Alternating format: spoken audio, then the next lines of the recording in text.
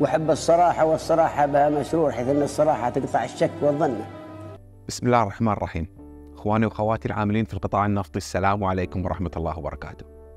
الشاعر الكويتي المرحوم سليمان الهويدي قال: أحب الصراحة والصراحة بها مسرور حيث أن الصراحة تقطع الشك والظن. وإحنا بمؤسسة البترول الكويتية وشركاتها التابعة نتفق معاه.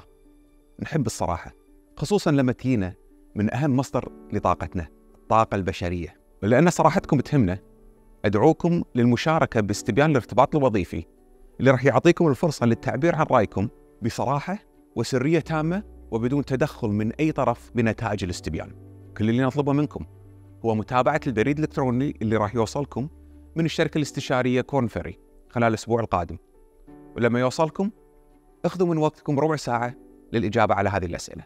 مشاركتكم في الاستبيان راح تعطينا المعلومات والمقترحات اللي نحتاجها علشان نطور عملنا ونرفع كفاءة عملياتنا ونستمر في الابتكار والإبداع اللي تعودنا عليه في القطاع النفطي. وكل هذا يبتدي فيك. شارك بالاستبيان. قول رأيك. لا تتردد